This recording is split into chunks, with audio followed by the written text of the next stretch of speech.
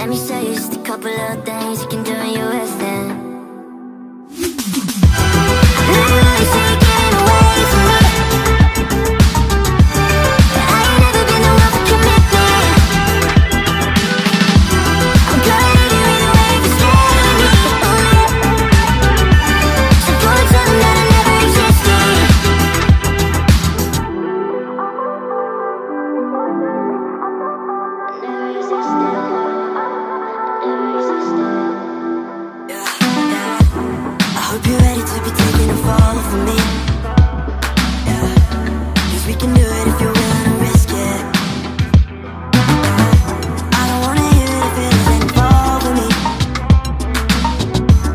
these relationships